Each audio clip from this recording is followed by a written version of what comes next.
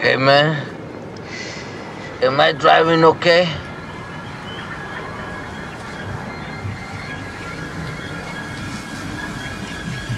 I think we're parked, man. Fuck, man, what was in that shit, man? I never had no dope like that before in my life, man. That's the heaviest shit I ever smoked, man. I mean, I smoked a lot of shit before, man. But goddamn, man, that's heavy shit.